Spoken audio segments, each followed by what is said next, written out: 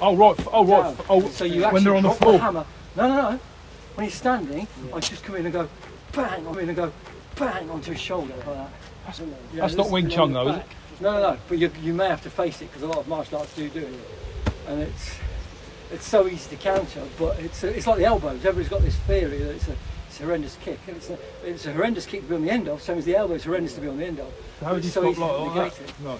So you've got to be able to do it first of all. So make sure you can go through your centre line and then drop out like that. Out. So it's, a it's almost a circle. Oh.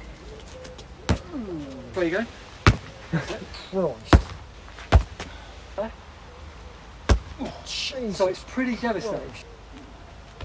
Fuck it. hurt. Bear in mind, most people haven't warmed the legs up, aren't in tracksuit bottoms Yes. and trainers. They're So going to be in jeans, jeans. Yeah. tight jeans, Yeah. beer bellies, a So they're gonna belt, be- Yeah.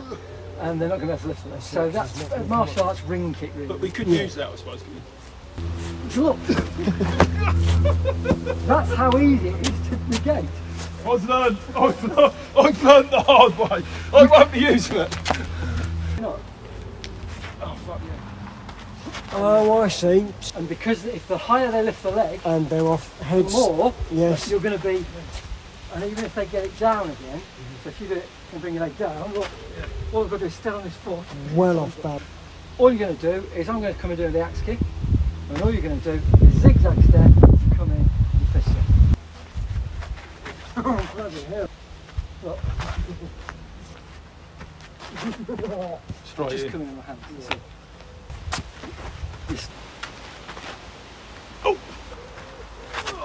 Oh right. through, through, through. Right. Okay. Fine. Now you should be not. Yeah. There you go. So, piece of cake.